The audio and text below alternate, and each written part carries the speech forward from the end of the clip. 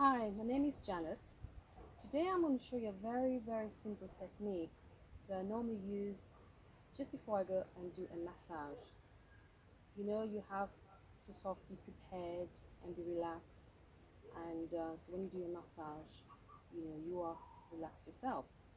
But this technique is not just good for doing a massage, it's also good for your everyday life because um, for me personally, reason why I came to this level, I fell ill in my life, and um, and what happened, I was told I wasn't breathing properly. So I'm going to go to a very short video and show you what the technique I use mostly every day in the first thing in the morning, and um, well, just go ahead and do it then. Okay, what I tend to do is pump on the head very gently because what happens, you move all the energy from the head down to the bottom of your body. And the neck, and you can have a lot of tension in there. So this is, you can do it yourself.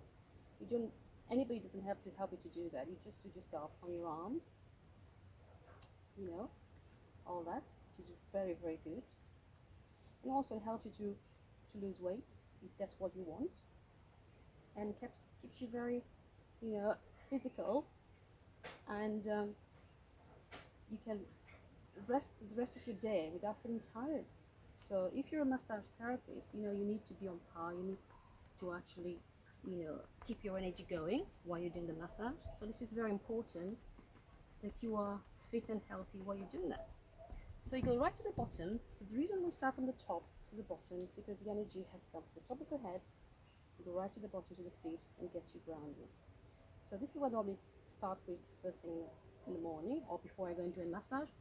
Or it could be any day um, that you want to you know keep yourself fit.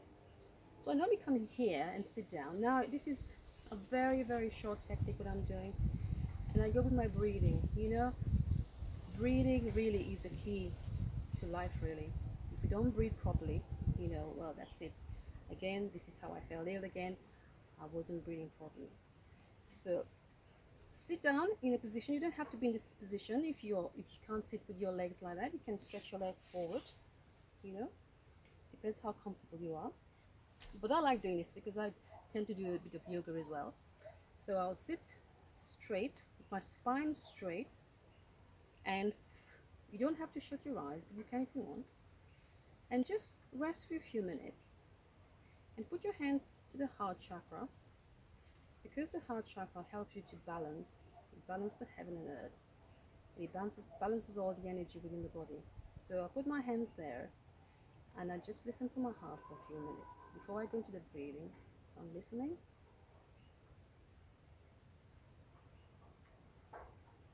Now I'm going to take a nice deep breath. Breathe in through the nose and breathe out through the nose. Breathe into the nose and breathe out through the nose.